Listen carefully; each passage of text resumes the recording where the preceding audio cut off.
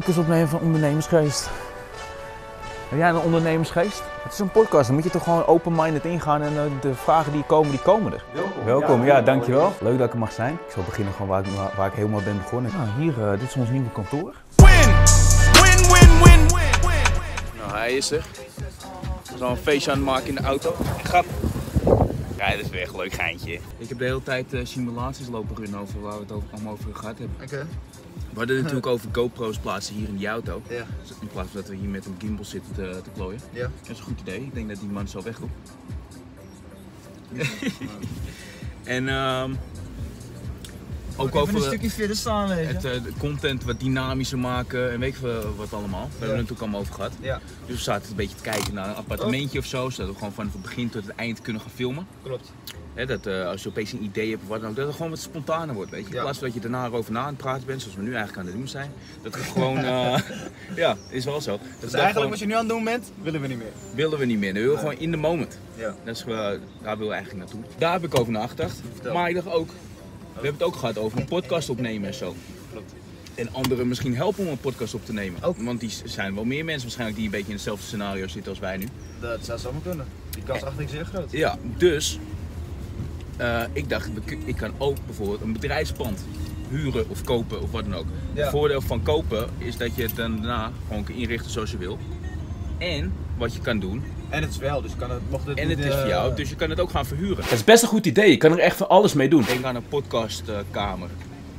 dat gewoon geluidsdicht is en weet ik wat allemaal. Maar ook gewoon eh, andere plekjes waar je zeg maar allemaal content kan opnemen en weet ik wat allemaal. En Gewoon een belangrijk- plek eigenlijk ingedeeld voor productiviteit en de creatieve En creativiteit. Ja, ja precies. Oh. precies. Wat, wat zeg je dat weer mooi? Ja, ja, ja. Nee, maar precies dat. En dan kan je dus eh, kan je zeggen van oké, we gaan eh, per bureau verhuren of eh, we, gaan- we verhuren het hele pand of wat dan ook. Ja, we moeten even kijken of dit inderdaad het slimste is om te doen. Want het is natuurlijk best een grote investering. En als je het koopt, zit je er ook gelijk aan vast. Maar ja, dat is zorgen voor later. We zijn nu aangekomen in Utrecht voor de podcast. Zou het hier moeten zijn? Ja, ja. Daarom ook. Een ondernemerspodcast. Ja, ik zeg altijd, je moet je research doen. Ik heb niet, niet heel veel gedaan. Ga je dan zeggen dat je niet meer voorbereidt? Ik heb gezien wat ze doen allemaal. Ja, ja. Ja, want je kreeg in de vorige video. Ja, ze doen podcasts, ze doen ze doen podcasts. Als je niet weet wat je gaat doen, moet je voorbereid. Ja, Nu ja. sta je hier.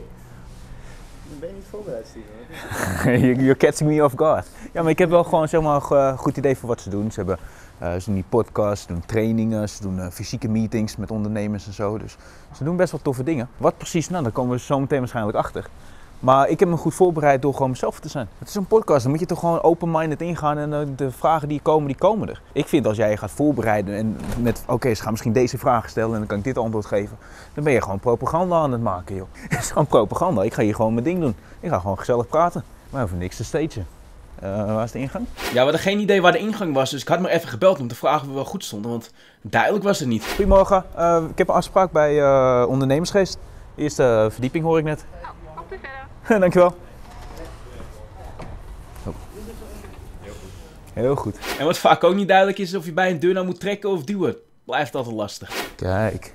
Nou, hier, eh, dit is ons nieuwe kantoor. We zaten te praten in de auto over dat we een kantoor gingen huren, kopen en weet ik wat allemaal. Allemaal een grap. Dit is gewoon ons kantoor al gewoon. Surprise. ja, ik loop natuurlijk maar een beetje te lullen, maar hoe vet zou het zijn om je eigen kantoor te hebben waar je content kan maken, et cetera. Maar ja, voor nu gaan we alleen een podcast opnemen. Welkom, ja, natuurlijk. er. Allereerst, eh, Ja, we, we zijn vereerd dat je er bent. Echt Zeker. super tof. Leuk dat ik er mag zijn. Ja, ja ik eh, ben, eh, ben 22 jaar, kom uit Ozaan. Eh, ouders uit Amsterdam, waarschijnlijk wel te horen. Dat gaat iedereen natuurlijk weer zeggen. Comments staan er altijd vol mee van eh, wat is dat accent? Eh, nou, dat dus. Ik heb geen accent hoor. Ik wil beginnen gewoon waar ik, waar ik helemaal ben begonnen. Ik heb mijn VWO heb ik afgerond. Ik wist niet precies wat ik wilde gaan studeren. En toen ben ik op een gegeven moment een beetje in, eh, ik had dachten. En ik had een vriend en die, was, die had toen eh 1000 euro gewonnen met poker. En dat was toen voor mij heel veel geld. En nog steeds natuurlijk heel veel geld. En ik werkte toen bij een, bij een bedrijf eh, waar ik saté prikte en zo. Een wild en gevogelte bedrijf. Dus ik dacht van, oh, eh, dat klinkt wel leuk. Want eh, vroeger speelde ik altijd- ook altijd wel poker met mijn vader en zo.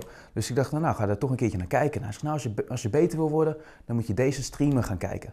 Nou, toen ben ik dat gaan kijken. En op Twitch. En ik wist niet wat er gebeurde. Eigenlijk, tenminste, mijn hele wereld ging zeg maar open. Daar begon eigenlijk alles. Ja, eigenlijk is echt alles daar begonnen. Ik ben toen zelf ook poker gaan streamen toen ik 18 werd. En zo ben ik in social media marketing gerold. Heb ik alles daarover geleerd en over branding. Want ik wilde natuurlijk mijn stream en mijn community groeien. Toen ben ik ook voor Ratio Ads komen te werken. Nadat ik heel veel mensen in Discord uh, heb geholpen. Ik begon daar als klantenservice. En daarna heb ik me opgewerkt tot waar ik nu hun social media en de marketing run. En op die manier heb ik eigenlijk ook nog meer kennis eigenlijk vergaat uh, op het gebied van social media marketing. Dus eigenlijk vooral gewoon door het te doen. Ja. Natuurlijk, je ziet ook altijd video's voorbij komen op social media en zo. Uh, heel veel Gary Vee natuurlijk gekeken. Die is natuurlijk een van de betere ondernemers naar mijn mening. Met een goede visie, met een goed verhaal. Dus daar heb ik ook eigenlijk altijd heel veel waarde uit gehaald. Ja. Um, eigenlijk het meeste gewoon door het gewoon te doen, de dingen te proberen. En te kijken wat werkt en wat niet werkt. Met name met content. En eigenlijk ook wat ik op social media nu zelf doe met de video's die ik maak. Is eigenlijk gewoon echt hoe ik er ja, hoe ik het heb geleerd. Door gewoon te kijken naar bedrijven en te kijken van oké, wat doen zij goed? Wat doen zij niet zo goed?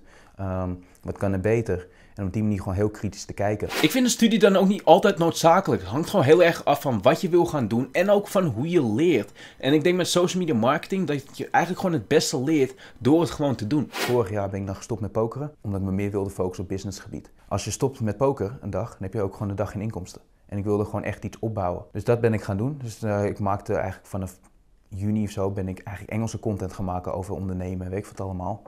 En um, eigenlijk had ik gewoon weinig tractie daarin. Omdat je, ja, je concurreert gewoon met de grote namen. Met de Gary Vee's, met de Grant Cardone's, met de, uh, als je cursussen kijkt, zo Ty Lopez en zo. En dan heb je opeens een jongen uit of samen met, een, met een Amsterdamse accent die Engels probeert te lullen, weet je. Dus dat, dat werkte gewoon niet. Dus daar ben ik nu. Dus nu ben ik eigenlijk aan het kijken van, oké, wat voor verdienmodel wil, wil ik daar aan gaan hangen? Uh, want natuurlijk uiteindelijk, je maakt de content om daar uiteindelijk iets mee te doen. Want is dat waar je niet pas naar kijkt of heb je er al naar gekeken? Ik heb er naar gekeken, ja. maar ik heb nog nooit echt... Ik, ik, vind het heel erg belangrijk dat je doet wat je leuk vindt. Ja. En um, dat, dat je ook echt iets doet wat bij je past. Dus uiteindelijk ook dat is gewoon dingen proberen en kijken van... Uh, waar wil ik heen? Ja, ik ben telkens aan het kijken van wat me nou leuk lijkt en dan verdiep ik me ergens in en daar leer ik dan ook wel weer van. Maar het is niet dat ik dan echt precies exact weet van oké, okay, dit is het, dit ga ik doen.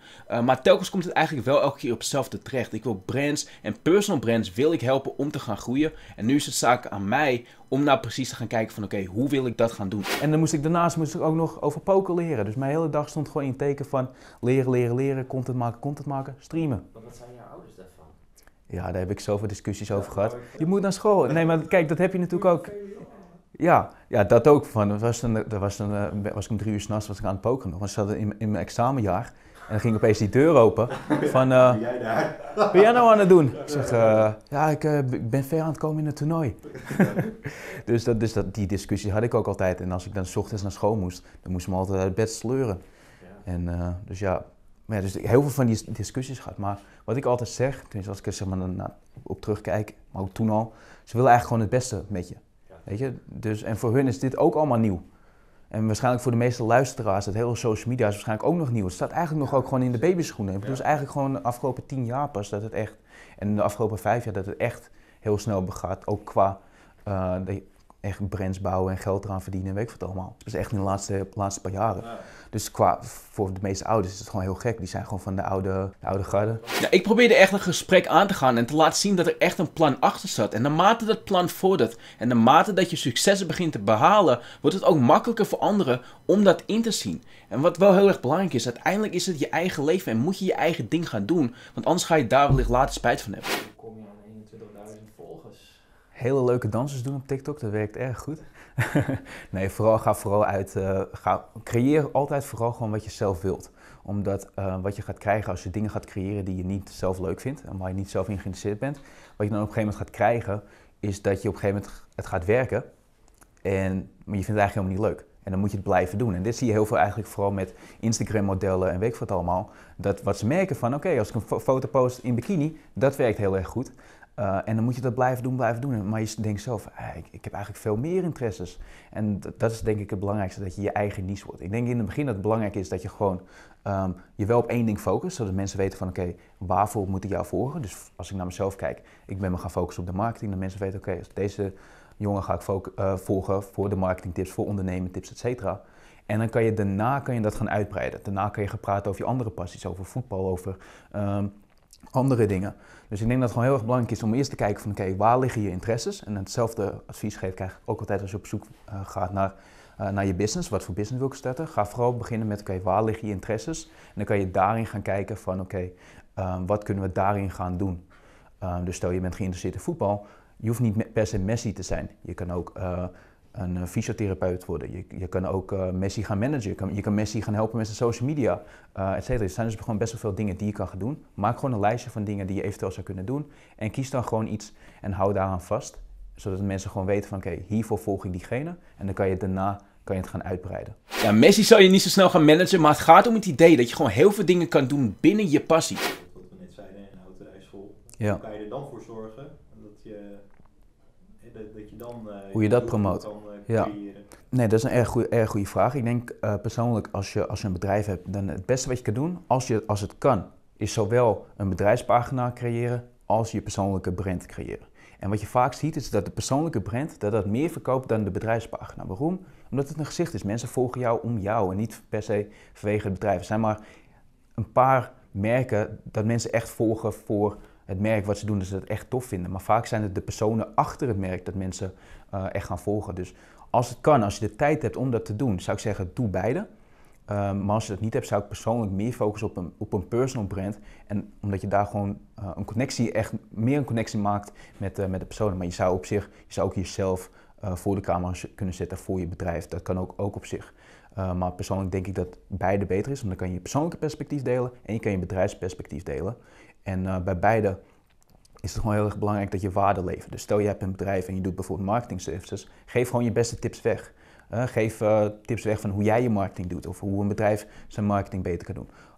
Nog beter, een autobedrijf. Je had het net over een autobedrijf. Stel je hebt een garage. Um, nou, je wil natuurlijk dat mensen naar je, naar je garage komen. Maar wat ik denk ik de beste manier is om dat te doen, is door gewoon tips te maken, video's te maken, waarin je tips geeft over waarvoor je niet naar de garage hoeft te komen. Dus hoe je je ruitenwisselvloeistof kan uh, vervangen, hoe je je auto het beste kan wassen of weet ik veel wat allemaal. Um, zulke dingen. Geef die tips, geef die gewoon weg. En op die manier word jij de persoon om naartoe te gaan. Uh, voor, hoe, je die, hoe je die problemen kan oplossen. Zo word jij de persoon op dat gebied. En doordat jij de persoon wordt, uh, gaan mensen alsnog naar je toe om het te laten doen. Want ze zien al die dingen die jij doet en denken van, jezus, dat is toch wel veel werk. Maar jij hebt laten zien dat jij al weet hoe het werkt. Dus dan denken mensen vaak, oh, kun jij het niet even doen? Want dat gemak, dat is vaak heel erg belangrijk. Dus daarom geloof ik heel erg in, geef je beste tips weg, word de persoon op dat gebied. En dan, uh, ja, dan verkoopt op een gegeven moment je business uh, vanzelf. En ik probeer datzelfde te doen door al mijn kennis te delen in mijn video's en ook door al mijn Instagram DM's te beantwoorden van bijvoorbeeld mensen die vragen van hoe ze hun marketing beter kunnen doen. En dat verdienmodel, dat komt later wel. Ging best goed hè? Ben je nou aan het filmen? Ja, natuurlijk ben ik oh. aan het filmen. Ja, dat ging best goed. Eerste, eerste podcast tenminste. Ik, ik heb wel eens ik heb twee of drie podcasts of zo gedaan in het Engels, maar over poker en zo. De eerste Nederlandse ondernemerspodcast bij Ja, ja.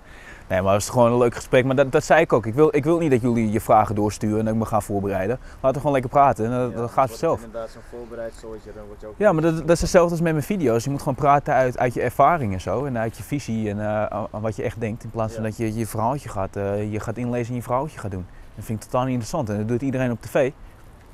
Dan komen ze allemaal met een, met een verhaaltje. En dat verhaaltje vertellen ze bij uh, op één. En dat verhaaltje vertellen ze bij uh, Humberto. Ja, is copy-paste. Copy-paste. Ja. Nou, dat, dat, moet je niet hebben. Ik bedoel, uiteindelijk, kijk, als je je eigen verhaal vertelt, dan is het nog steeds, copy, of is het nog steeds elke keer hetzelfde. Want het is je eigen verhaal. Tuurlijk.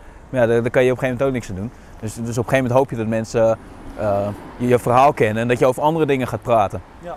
Maar in het begin ja, zijn dat natuurlijk die standaardvragen. En op zich ook prima, want ik denk dat er wel, zeker voor hun doelgroep, de meeste, ze hebben een wat oudere doelgroep, dus de meeste die kennen me ook niet. Nee, en, maar je ik, hebt wel echt wel uh, goede dingen gezegd. heb ik goede dingen Ja. gezegd? Nou, dat ben ik fijn. dat zeg ik niet snel, dat weet je. Nee.